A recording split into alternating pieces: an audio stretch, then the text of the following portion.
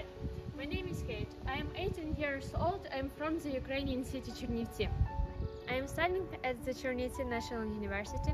In the future, I dream of uh, becoming a psychologist.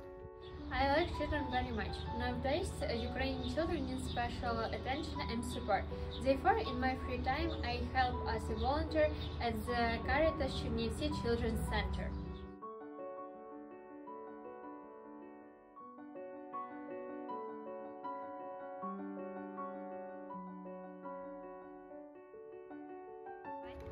I am happy to create friendly and fun atmosphere for kids at the Caritas Center. This inspires me a lot.